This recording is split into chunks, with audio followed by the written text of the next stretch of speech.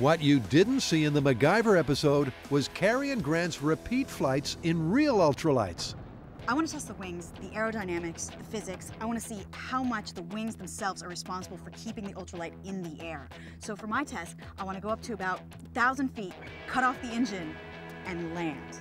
It seems a little scary to me in theory, but I think it's going to give me the information I need to build wings. Kari wants to know if a real ultralight has any chance of at least gliding to safety.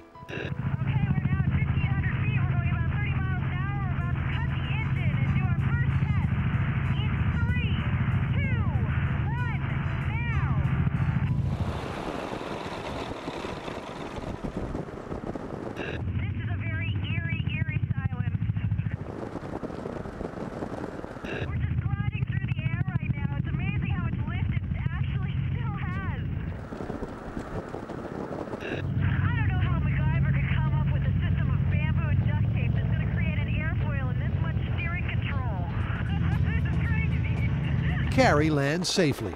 Now it's Grant's turn to test whether Mac's tiny engine could at least have sustained flight. Now, the second part of our test is to see what happens after the MacGyver ultralight goes off the cliff.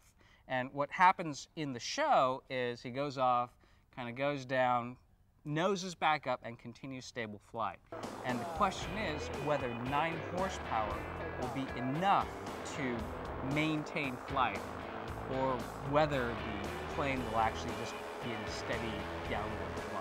They use a lot more than 9 horsepower for liftoff, but once Grant and his pilot are well and truly airborne, they pull back on the power to fit the myth. Okay, Brian, so this is test number two. We're at an altitude of 800 feet. We're going to throttle down the engine so it's the equivalent of 9 horsepower. Here we go.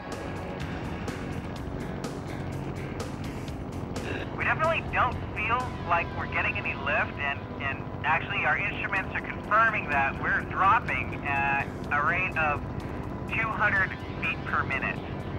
So I think it's probably going to be a pretty short flight. So a short flight later, Grant lands with a strong feeling for how this TV myth might play out. What we noticed is that unfortunately the plane started to slowly glide down at a rate of uh, 200 feet per minute. So uh, you don't have enough to sustain flight, and probably what you're going to need is either a very tall cliff or a very short escape distance to get away from the bad guys. Still, neither Grant nor Kari knew for sure just how this myth would pan out.